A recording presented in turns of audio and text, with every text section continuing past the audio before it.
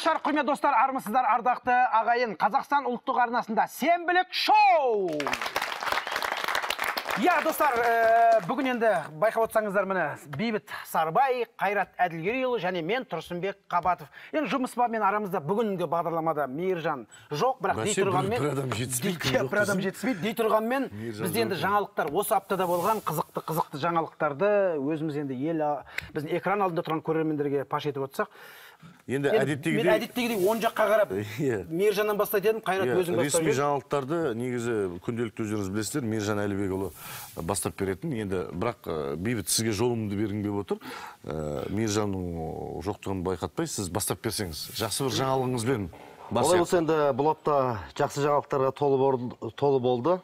Соның бірі арқа төсінде абылайхан біржан салды қабылдады.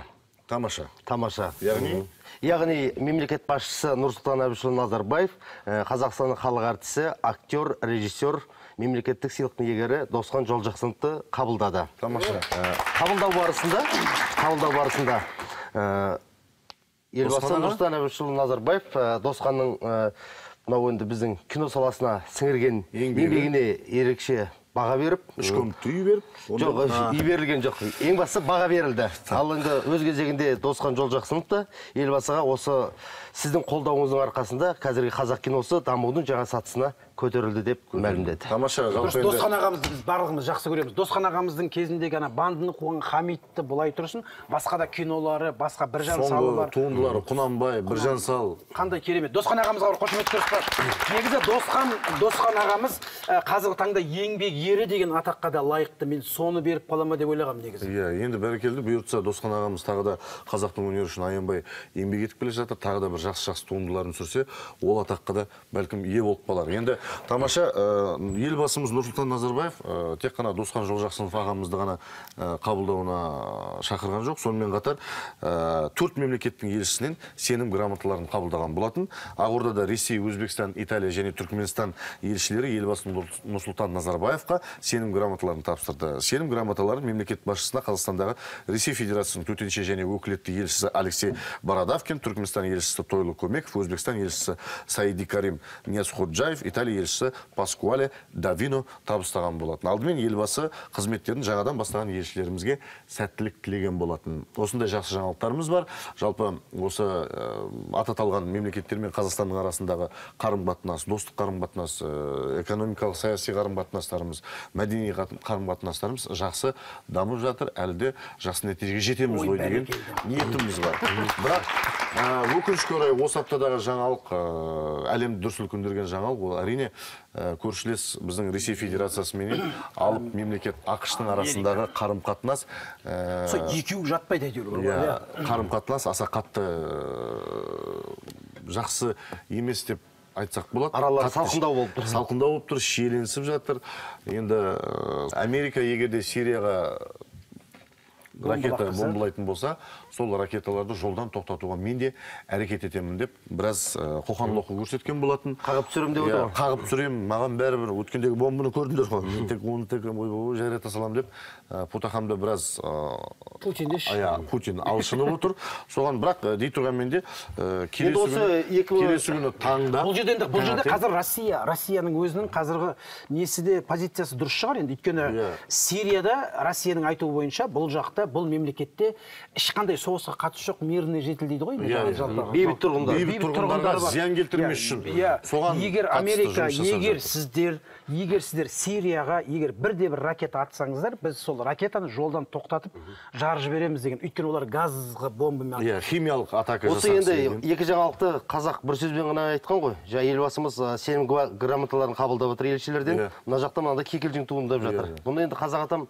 бір ақ сөзбен айтқан елдестірмек елшіден жауластырмақ жаушыдан деп айтқан. Яғни елшілері жақсы жұмыс істеп жатыр. Бұл екі ортадағы елшілер енді қалай жұмыс істеп жатқанын білмеймін. Келесі күні осындай ә, путин мырзаның ә, мәлімдемесінен кейін ақш ақш-тың президенті дональд трамп мырза ә, өзінің әлеуметтік желідегі твиттерындағы парақшасына жазған болатын.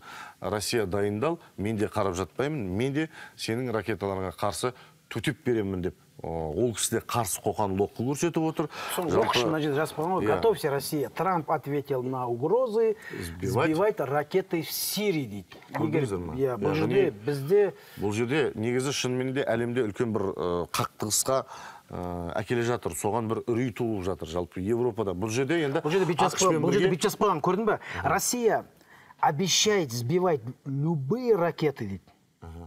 Выпущенные по сирии готовься россия они прилетят такие красивые новые и умные дейді көрдіңіз бе? Жаңа ракета атқылайды деп отыр да бұрынғы ескі ракеталар емес сонда сіздердің ракетасын ұшып келе жатқан кезде россия жіберген кезде американікі умный ғой. Иә, ол. ол кішкене төмен қарай бұғып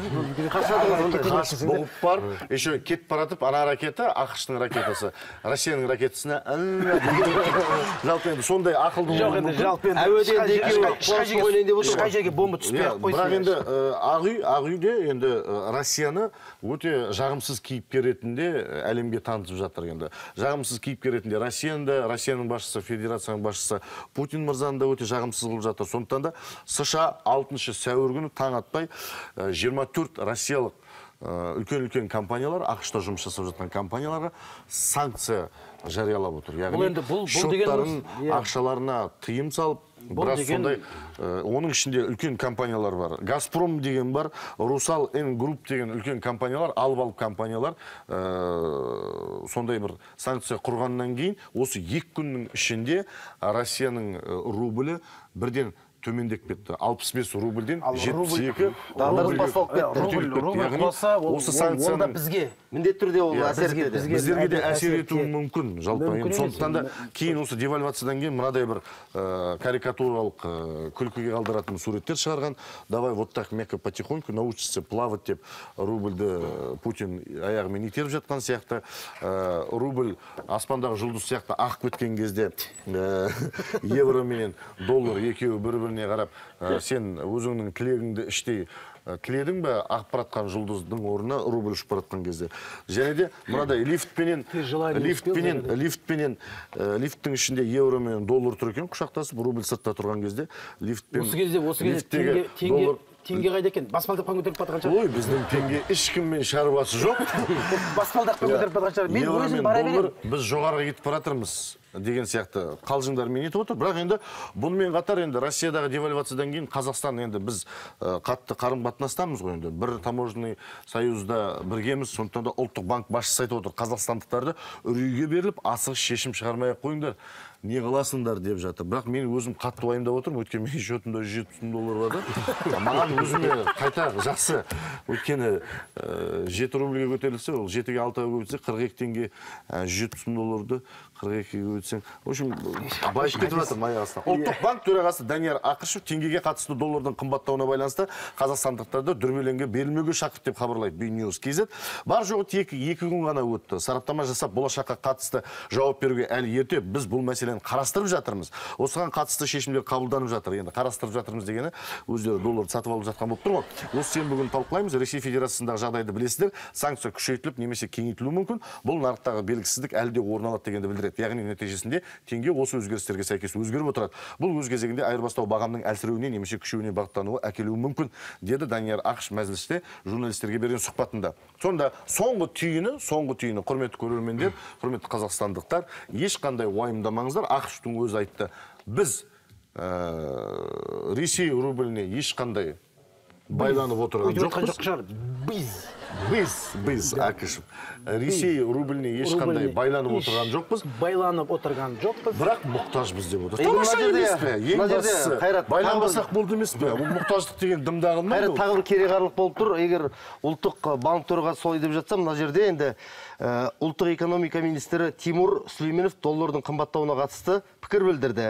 Шенеуніктің айтуынша оған сыртқы жағдайлар әсер еткен. Енді бұның түйініне келетін болсақ егер рубль құнсызданатын болса ол сөзсіз бізге де әсер етпек деп айтып отыр. Жоқ оған әсер етіп жатыр ма рубль құлдырап жатыр ма біздің қазақстандықтарға ешқандай ыыы, оны уайымдап жатқан қазақстандар жоқ. Неге? Қазақстандықтар әдемі нөмір алу үшін бір миллиард теңге жұмсаған. Сонда бүкіл ақшаның бәрін нөмірге салып тастап тұр ғой біздікілер. Бұл жыл басынан бергі дерек иә қана. Қазақстанда әдемі нөмірлер бір миллиард теңгедей қаражатқа сатылды деп ә, бүйтейік хабарлайды енді қазір қарап отырсақ кілең бір жағымсыз жаңалықтар ғана оқып жатырық енді бір енді өте керемет жағым Иә, жаңалық қой енді. жағым жаңалық. керемет Жағым жаңалық бір миллиард теңге жойып отыр. иә. Жоқ бір миллиард осы теңге үш жарым айдың ішінде қазақстандар анау жақсы нөмір алу үшін Алу үшін. бір миллиардқа жуық ақша ал енді қараңыздар атырауда дейді алдында сендерге жағымсыз болмаса басқа жаңалық айтайын. Атырауда үш қорап шай ұрлаған тұрғын сотталып кетті дейді. Ең жағымды жаңалық сол болды. Атырауда қай жері жағымды? Шай ұрлағаны ма әлде шай ұрлаған шай ұрлаған Шай үш пачка шай ұрлаған үшін сотталып кеткен. Бір жылға ма? Үш жылға. Үш жылға ма? Үш қорап қой. қой өйткені. бір пачкаға бір, бір жыл беріп тұр ғой қас. Енді қашан шығамын деп отыр? Енді білмеймін енді қашан шығатынын бірақ енді осы айтылуынша атырауда үш қорап енді былай қарасаң енді қазір бұл кісі шайқор адам болып тұр ғой енді. Барғасын ана жаққа барғасын жақсылап шай ішейін деп тұр ғой енді. Енді анау түйені түгімен жұтқандар ы, түк болмайды да Иә, түйме ұрлағандар төрт жылға кететін күтіп отқан сияқты. Шай ұрлап шай жоқ бір жағынан қарап отырсаң енді иә бізде қазір неше түрлі зат ұрлап жатырғандар бар бірақ шай ұрлап енді сотталып кетуі. Енді бір жағынан қарап отырсаң енді біреудің затын ұрлағаннан кейін не ұрласа да енді сотталатын шығар бірақ дей тұрғанмен әшейінде штраф салса болатын еді ғой бір шайға он мың теңгеден тіпті адам өлтіргендердің өздерін бір жылға жай жіберіп жатады. Енді жақсы жаңалық қой бастайықшы құрсыншы барлығы бітті. Тағы бір енді баландин абсолюттық чемпион болды. Қошемет көрсетпайық баландин. Білесіздер баландин осының алдында олимпиада чемпионы болды. Осы жолы міне испанияда өткен жүзу әлемдік жарыстан баландин абсолюттік чемпион болған өзінің ә, салмағында емес қой енді өзінің ана оларда ә, Дистанция. иә дистанция Ара айтады ғой, ара қашықтықта оған жететін адам жоқ екен. Сондықтан да қошемет көрсетпайық баландинге енді бір Дмитрий жағынан тоқа Баландин. ұтпағанда кім ұтады? Темекі шекпейді арақ ішпейді. Денсаулығы мықты жүзе береді да енді. Басқалар да сондай ғой бәрі дмитрий баландин жақсы сіздерде қандай жаңалық енді ғалымдар ы, қазақтарға ғана тән үш ерекшелікті анықтады дейді. Қандай ерекшеліктер? ғалымдар тек қазақтарға тән үш үш ерекше ген барын анықтады. Бұл енді ғалымдардың айтуы бойынша біздегі осы ерекшеліктің үшеуі де біздің иммунитетімізге байланысты екен. Біз енді басқа халықтарға басқа ұлттарға қарағанда үшеуі де иммунитетіміз мықты екен біздің. Мысалға біз ыстыққа төзімдіміз ыстыққа төзімдіміз суыққа да бәріне. Ең бастысы жаңағыдай қалай қандай тамақ жесең де біздің оны организміміз қорыта береді. Иә кез келген ауру түріне біз жақсы қарсы тұра алады екенбіз. Сонымен қатар мынандай енді жаңағы небір түрлі девальвациялар болады доллардың көтерілуі теңгенің құлдырауы соның барлығы біздің денсаулығымызға ешқандай әсер етпейді екен. Иә ба- баяғыда ғой жақында оқығанымда да біз қазақ халқы елу градус ыстықты да елу градус суықты да көреді екенбіз. Көреміз, әлемде жалғыз бір мемлекет екенбіз. Бір ұлт. Өйткені бізде елу градус ыстық та бар елу градус суық қызылордада да бар елу градус ыстық елу градус суық бір, астананың өзінде бір астананың өзінде бір өзінде. астананың өзінде. Басқа оңтүстік батыс жақтарда бәлкім ауа райы басқаша шығар. Ә, сондықтан да біз қазақ бәріне төземіз өйткені біз қазақ не көрмегенбіз деп айтады ғой.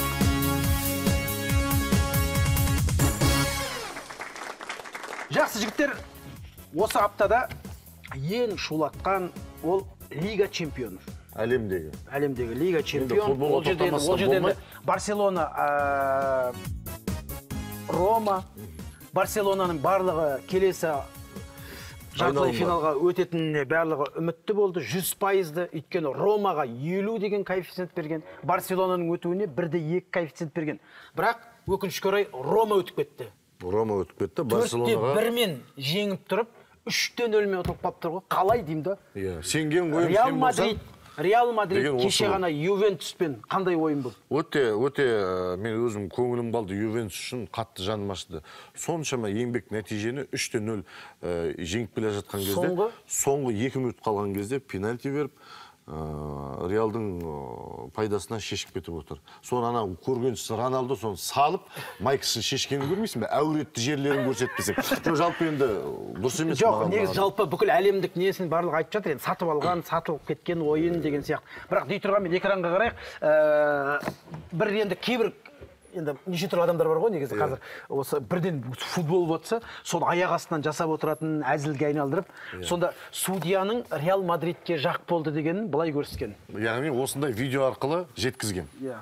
Бір сәт экранға назар аударайық. Ә, бейбіт басыңды алшы көрінбей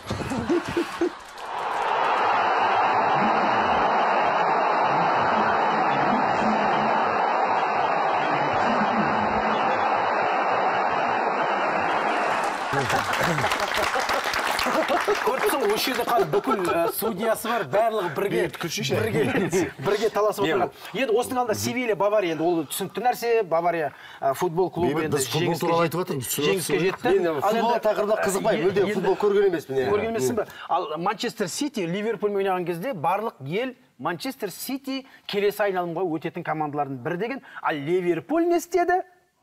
Жеңіп кетті. Жеңіп кетті, өйткені мен де ливерпульға жанкүйермін. Сондықтан да барселонаға да жанкүйермін. Жеңіп қалған кезде жанкүйер болғым келмей қалады. Сондықтан да келесі жартылай финалға жолдама алған командалар реал мадрид ә, және? Рома барселонаны жеңген ливерпуль және бавария. Алдағы уақытта жартылай финалда кездесетін командалар реал мадрид бавария ә, ливерпуль. Кім еді жаңағы? Рома финалға шығатын команда. Рома Ре- реал мадрид. Чемпион үшінші рет реал мадрид деп уже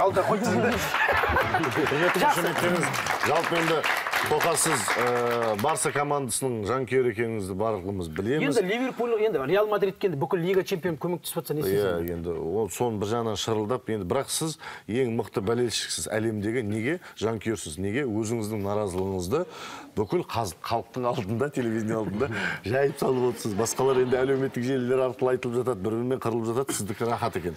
Менде мынандай бір жақсы жаңалық бар. Ә, бізде ұлттық аударма бюросы бар. Ә, сол ұлттық аударма бюросы жаңа гуманитарлық білім қазақ тіліндегі жүз жаңа оқулық жобасы қолға алған. Қазірше бұның 18 кітабы аударылып жарық көрді. Сол 18 кітаптың тұсаукесеріне ә, мемлекет басшысы нұрсұлтан әбішұлы назарбаев арнайы келіп қатысты. Қатысып біраз наразылық білдірген сияқты сол ә, наразылық білдіргенде енді ол жағын айтпай ақ қояйық. Мына жерде біз енді елбасының мына сөзін ә, қаперге алайық.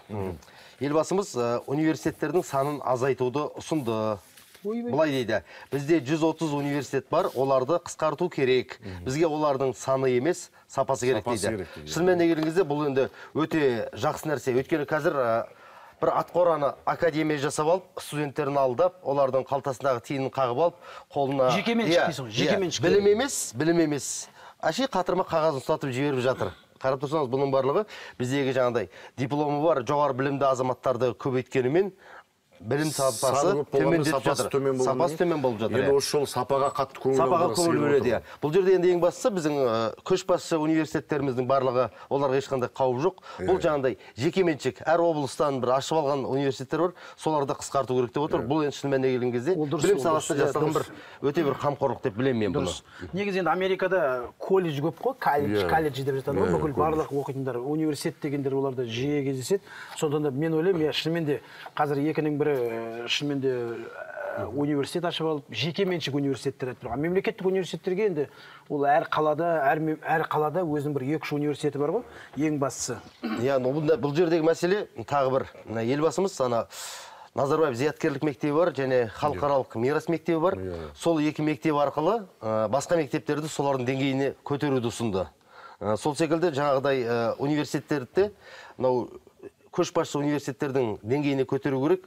Оған ә, жете алмайтын базасы жете алмайтындардың барлығын ы, деңгейін көтереміз деп отқан кезде ы, қарапайым халықтың қалтасына ауыр болмай ма екен? Ертең тағы да қиын болып кетпесе? Өткен жолғы бағдарламамызда айттық қой енді бұл жерде енді грант саны көбейткен А, грант саны грант саны көбейген, көбейді. Тамаша. шын мәніне келген кезде енді бізде мысалға он адамның тоғызының қалтасында дипломы болғаннан не пайда оның? Сегізі білімсіз болатын болса. Иә иә дұрыс айтасыз. Өте жақсы ұсыныс.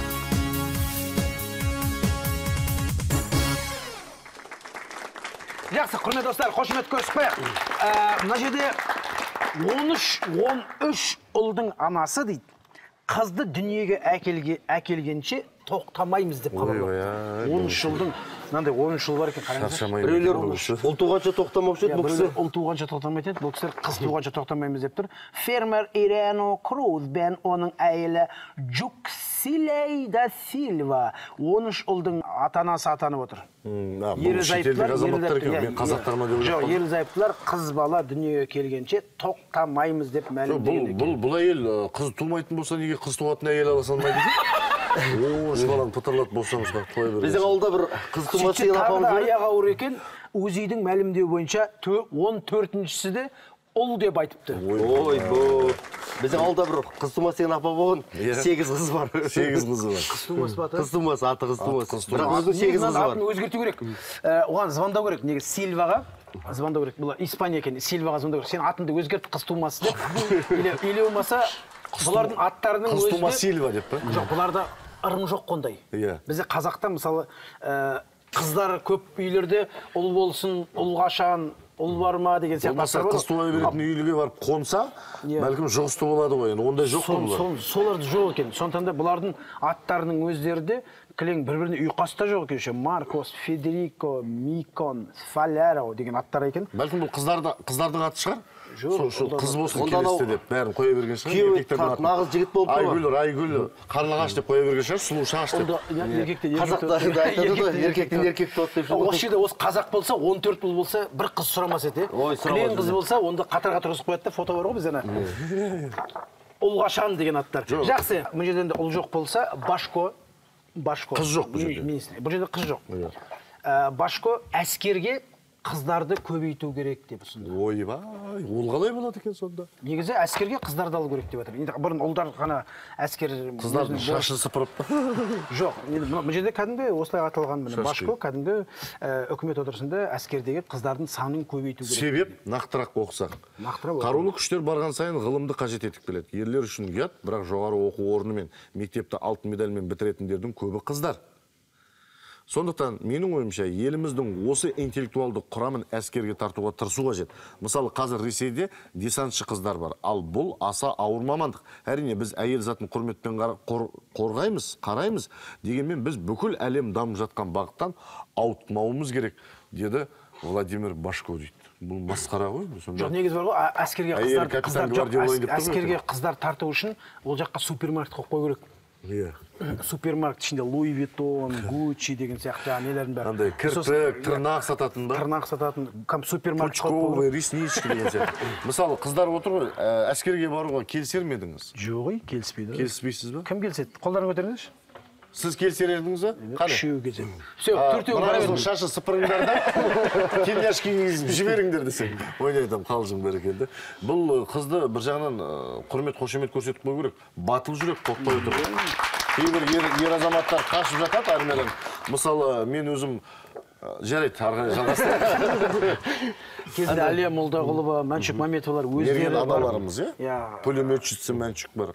Жаңа айта кеттік э, хиуаз апаларымыз. ұлттық аударма бюросы бізге қазаққа қатысты қазаққа керек ау деген қазаққа қатысты емес қазаққа керек қазақтың білімін толықтырады деген жүз кітапты аударуды қолға алып қазір 18 кітапты жарыққа шығарды дедік Иә. сол ұлттық аударма Иә, иә. қайтып келіп жатрсың ба сол ұлттық аударма бюросы маған ұсыныс тастаған ә, бізге аудармашы болып келі жұмысқа тұрды мен бірден ә, отказ бергем ә, қарсы болғанмын Иә, иә. өйткені оны кітап аударуға мен ешқандай да ә, білімім жетпейді ал енді мен аудара алатын бір кітап таптым Өзіңізге Иә. жұмыс таптыңыз. өзіме өзіме жұмыс таптым былай дейді саяхат туралы жазылған ерекше кітап желіде қызу талқыға түсіп көпшіліктің күлкісін келтірді деп хабарлайды дейді. Ә, бұл кітап былай екен. Жаңағыдай бірақ сөйлем кітап басталғанда белгілі бір елде бір жолаушы жолға шықты дейді да. Тік дік тік тік тік дік деп. Кете берді кете берді бір кітап солай болды ең соңында сөйтіп ол өзінің барар жеріне барар жеріне аман есен жетті деп аяқталады көрдіңіз ба сол енді қарап тұрса мынау анау шаппайтын шабан ат мінген көрінеді өйткені тік тік тік тік деп тұр ғой ал қазақтар жазса ол жүйрік ат жазады ғой Иә. дігідік дігідік дігідік деп жазады енді осыған сіз кірсіңіз тік тіктің бәрін кетіріп тастап дігідік дігідік деп жазыңыз да автор бейбіт сарыбай деп қойыңыз сонда кәдімгі бір бір кітап сол тік тік деп осыған сонда ақша бөлген кәдімгі иә? өзі шығарған. Бір қызығы енді бұл кітапты елдің бәрі сөреге қойған ғой енді кітап дүкеніне. Бәрі бәрі ашып қарайды екен да күледі де қайтадан жауып осы қояды кітап кітап желісі бойынша кино түсіретін болсақ кино қанша минутқа созылуы мүмкін жоқ екі сағат қылсаң да болады ғой шаптыра берсең. шаптыра шаптыра берсін, берсін, шаптыра дік дік берсін. шаптыра берсін. екі бір ортада сағат ол ат қалады. құлайды аяғын сындырады сонымен Иә, ол жерде ондай жоқ бұл жерде тік тігідік тігідік тік тігідік тігідік тігідік тігідік бұл бұның өзі де бір қызық шығар қазір осы кітап қайсы кітап деп ашып қарау үшін де қазір яғни хайп қой қазіргі заманның хайп тілімен- деген? хайп деген жаңалық ашу. Мысалы біз құлағымызды былай қасайтын болсақ хайповать еткің келсе бүйтіп қасайсың ғой ол сондықтан да ол хайп сонда біз екеуміз кешігіп бара жатық па өмірден? Ғайып деген сөзі. Кешіккен жоқсыздар сіздер. Қайта өте бақыттысыздар ғайып деген сөз бар осындай, еді. осындай бір түсініксіз ұғымға ұрынбай жүрген сіздер бақыттысыздар енді хайптың тағы бір мағынасы енді ол ы, жаңағыдай ы, көрермен тарту үшін оқырман тарту үшін арды ұятты жинақ қоя салатын иә да жағы бар. қоясың дағыны арды ұятты кешкі сегізден жақсы жігіттер ә, тағы қандай жаңалықтарың болса айтып А, мына отырыңыздар жерде мына бір күшті жаңалық бар. Ғалымдар ғалымдар. Толық қызға үйленген еркектер он есе бақыттырақ дейді. Көрдіңіздер ме қыздар диета ұстамай біреудің бір еркектің бағын байламай. Кете беріңдер семіріп мексика ұлттық автономдық университетінің психология департаменті зерттеушілері толық қызға үйленген жігіттердің бақыттырақ болатынын анықтады. Бұл туралы нұр порталы эриском.ua сайтына сілтеме жасап хабарлайды. Қызғанбайды ғой біріншіден. қалыңдық енді міне қалыңдықпен түскен фотомен көрініп тұр. Жігіт шынымен де бақытты. Э, қыздың бетінен сүйем деп еді. Қыздың беті жігіттің бетін жауып тастап отыр ғой енді. Осындай қара мына жерде бүйтіп айтылған ғой сен толығырақ оқысайшы. Ә, толық қыз спорт залға жазыламын деп айтпайды дейді. Яғни белгілері бақытты болатын белгілері. Иә, не себепті бақытты болады толық қыз спорт залға жазылмайды. Толық қыз диетаға отырамын деп айтпайды. Олардың көңілін ұнатқан шоколад тағы басқа нәрселерді әперсең тіпті қуанып қалады. Иә, салатын болып тұрсың ғой. иә, дені әзілге жақын әрі көңілді келеді дейді. Көңілді болмағанда не істейді енді? Андай түріменен э, мінез көрсететін болса кім араласады онымен? Негізі негізі енді бізде де экран алдында отырған шығар енді. Толық негізі мен достарым бар толық қыздар олар өмірде көңілді болып келеді негізі. Иә, ешқандай ешкіммен проблемасы жоқ. позитивпен Иә, жүреді позитивпен жүреді. Менің бір достарым бар рестораны бар ма оралдағы? Иә иә мен білетін бар. Сондай бір. Сондай бір ха ха ха деп ешкімнен Мен қысылмайды білетін заңдылық бар. олардікі. А арық қыздар бір жерінен бірдеңе шығып тұрған секілді бір жер что то не то секілді. Өзімен өзі, иә? өздерімен өздері бір комплекс пайда болып бір что то не то болып қалған жоқпын ба деп әр киген а олар қысылмайды. Мынандай көйлегін киіп алады деп жүретін. Енді тәке қайрат менде жоқ шынымен де бір көңілді болады Иә, иә. сосын оны қызғанбайсың ғой қызғанбайсың бір жағынан. Оның күйеулері бақытты болатыны қызғанбайсың ғой. Иә. қайда барады дейсің дейсің деп отырасың қошеметтеңіз достар. Жақсы. Жапондықтар темір жол вокзалына басшы етіп итті тағайындады дейді. Алғашқы рет. Жануар вокзалдың жапония темір жол вокзалының директоры болып ит тағайындалған. Құтты болсын бұл енді жапон халқы енді қаншалықты енді ақылды деп жатамыз соншалықты білмеймін ақымақ па білмеймін енді. Бұларда енді қазір ит оларда Адам, адамға көніп жүргенде зорға адамға сенбейді қазір итке сенеді екен. А, енді жапонияда жануарлар қызметке тағайындау бірінші рет емес деп отыр ғой. Оның алдында мысықтар тағайындаған. Неге, неге бірден итке көшіп жатқан себебі мысықтар көбіне ұсталып қалған. Ә, пара беріп ұсталып қалған ә, сүт алған біреуді жұмысқа алу үшін вискс алған содан кейін иттерді орнына қойып отыр. Енді жақында тағы да кеше ғана ит ә, сүйек кеміріп жатқан жерінен ұсталып қалған болып тұр. Енді ол да аяқ астынан ойлаған жоқ. Бірден оперативный съемка кіріп келген. Ә, иттің бәрін ә, таңбасыменен белгілеген.